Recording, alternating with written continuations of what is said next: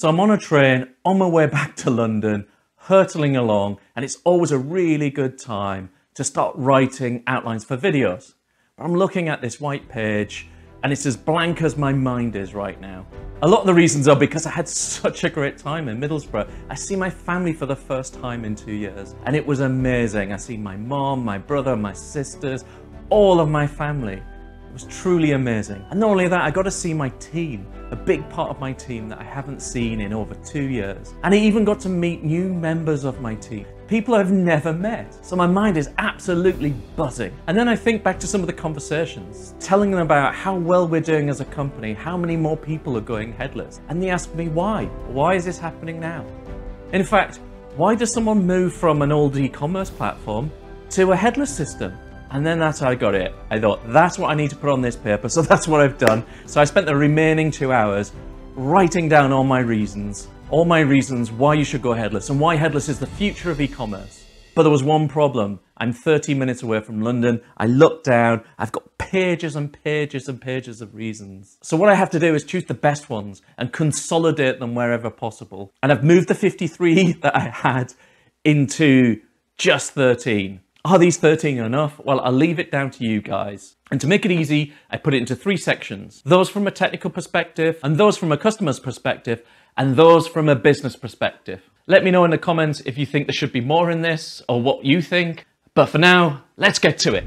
Let's start with technology. Number one, you get to choose your own technology. You get to choose your own frameworks. You get to choose whether you go React, whether you go Vue, whatever UI framework you want, you can choose. You get to choose your own architecture. As a technologist, you can choose whatever you want to do. The only restriction are the APIs and the microservices you get from the vendors you choose. There's obviously value in having the power to choose, but it goes beyond that. One of the greatest challenges we have right now in terms of building technology teams is the competition for talent. If you've got some old scripting language or something very specific, no one's really that interested in doing that anymore. All the new generations of developers and technologists are all excited about new frameworks and modern ways of doing things. And not only that, your own internal teams are going to be excited because they get to use the latest technologies. They're not stuck in the mud of the old world. Number two, development can be much faster, more efficient because you can do the development in specific areas. You can do the development in the front end and the UX without without having to do entire vertical slices through the architecture like you did in the old days. One small change, you don't have to change the front end, you don't have to change the server-side technology, and you don't have to change the database. You do it in one place so it's quicker, faster, and easier. Number three, the reduced amount of dependencies in the architecture means you can actually do pure product agile development because the architecture supports it and you don't have to go down a false waterfall approach. Number four, the API approach of headless means that it's much faster and quicker and more seamless to integrate other systems. Number five, continuous integration and continuous development is much easier to do in this world. It means you can do smaller, faster, incremental releases into live with a much faster cadence for release cycles. So now we're going to focus on the customer and we're at number six. And what we have performance, performance, performance. What am I saying by that? Using this type of architecture, using headless, your page load times are going to be massively faster than they were in the old world. In the old world, you have to send a request to the server. The server had to do massive amounts of processing, gather all the data, gather all the content, create the render, and then send it back up the pipe to your browser. In the headless architecture world, you're dealing with API requests, which are much faster. They're smaller packages of information that are passing over the internet, and the latency is far less than a page request. But why is that important? It's proven that website conversion rates drop by almost 4.5% for each additional second of page load time. The probability of bounce rates increases by 32% as page load times go from one second to three seconds.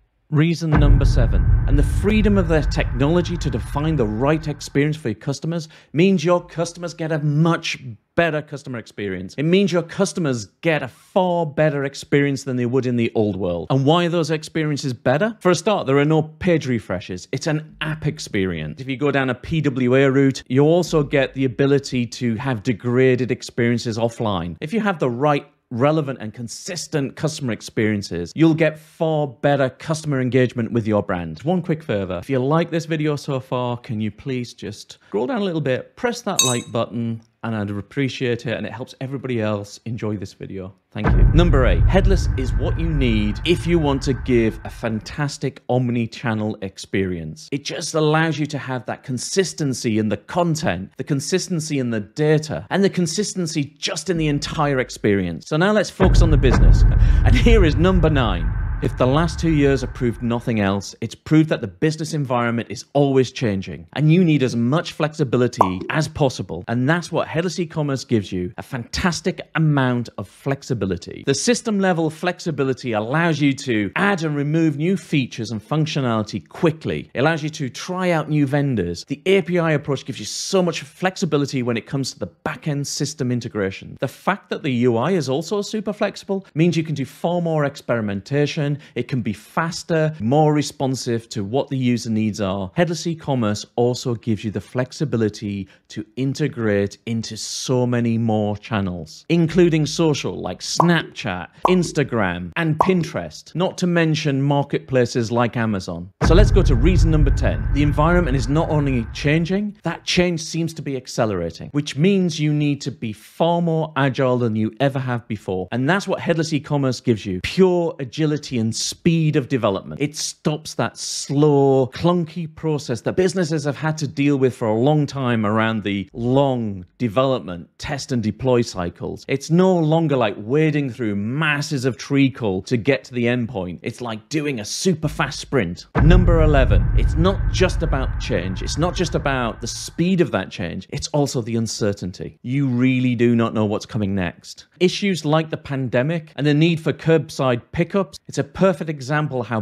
businesses and systems need to adapt to an ever-changing environment. And the great thing about headless e-commerce, the systems and the APIs means that you can be more adaptable than ever. Reason number 12. So the massive changes that e-commerce has gone through in the last two years and the shift of digital to being the primary channel. It means that brands are competing on experience, not just the product. Customers are looking to engage with the brand, engage with their values, engage with their story, not just the product specifications, the price. You need clear, differentiated user experiences. And headless e-commerce is seeing the realization of true personalization, not just product recommendations, but the personalization of the experience itself. APIs are enabling us to connect the content management system to the e-commerce system to the personalization engine. Things like the atomization of content and content as data is allowing us to assemble new types of customer experiences all dynamically on the fly. And the freedom from templates and pages means you can really represent your brand values and tell that story that customers want to engage with. Number 13, as the environment is so uncertain,